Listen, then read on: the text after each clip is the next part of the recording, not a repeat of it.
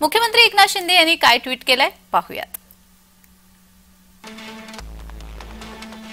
राज्यात सत्तेवर आलेल्या सामान्यांच्या सरकारला आज दोन वर्ष होत आहेत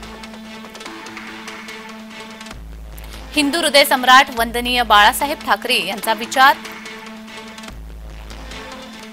राज्याच्या विकासाचा ध्यास आणि सामान्यांचा विश्वास या बळावर महायुती सरकारने दोन वर्षाची यशस्वी वाटचाल केली आहे. पंतप्रधान मोदी आणि गृहमंत्री अमित शहा यांचं भक्कम पाठबळ लाभलं. उपमुख्यमंत्री देवेंद्र फडणवीस अजित पवार आणि सर्व सहकाऱ्यांची समर्थ साथ लाभली.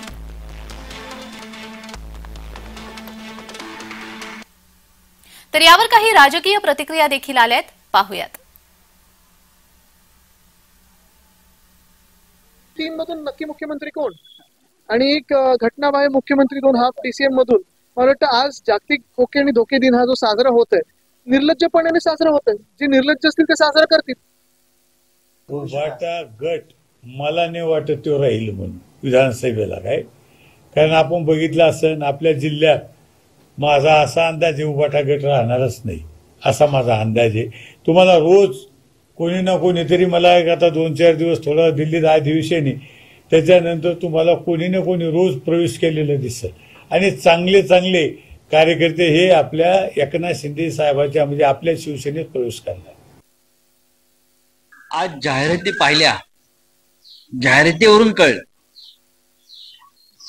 की महाराष्ट्रामध्ये जे एक सरकार आलेलं आहे चोर आणि लफंग्यांचं. त्याला दोन वर्ष पूर्ण झाली. ही दोन वर्ष